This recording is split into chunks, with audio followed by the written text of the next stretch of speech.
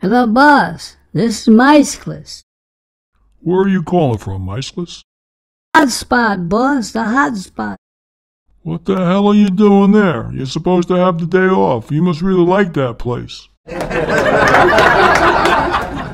Came back last night to hang out with the boys.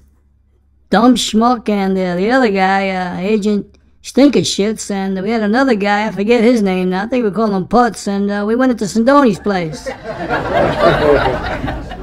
we got his email. He can't use his email. I don't think he can use his computer either. We did a good job, boss. You'd be proud of us. We did a good job. Uh, I wouldn't be so confident if I were you.